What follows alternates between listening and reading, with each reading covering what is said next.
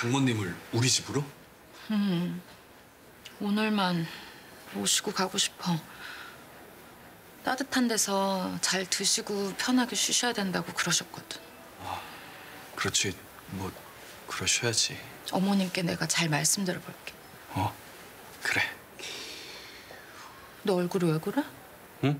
마사위의 책임감과 도리에 대해 열변을 토하던 박완승 씨 어디 가고 없는 것 같은데? 아 그거야 장미양 걸릴까봐 겁나서 말 돌린다는 게 그렇게 됐던 거고.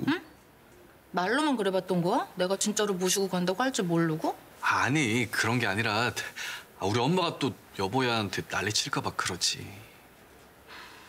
당연히 어머님 혼내시겠지. 근데 오늘은 어쩔 수 없을 것 같아.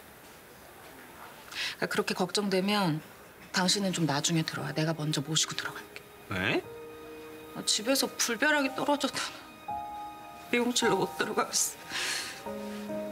내 방에서 편하게 쉬게 해드리고 싶어.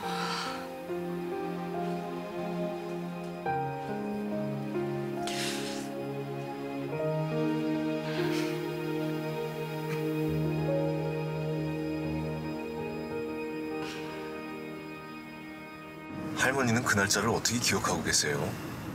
그날을 어떻게 잊어?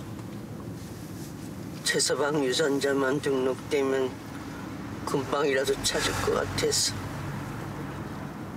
오매불망 그날만 기다리면서 몇 날 며칠 잠을 못 잤는데 다 밝혀낼 거야. 어떤 나쁜 놈이 우리 지우를 데려가는지. 우리 지우가 지금 어디에 있는지 전부 다 병원 안 가도 괜찮으시겠어요? 오늘 너무 놀라셔서. 자네는 안 놀랐나? 자네는 나나 마찬가지지. 이보게 지우 사진만 일세 예. 복사해서 회사 구석구석 다 갖다 붙이게. 아, 그건 제가 하겠습니다, 할머니. 그 사진을 떨어뜨린 사람이 치유든 치유 지인이든 언젠간 다시 찾으러 올 거예요. 언제 와도 바로 만나볼 수 있도록 제가 준비 잘하겠습니다. 그래, 그래.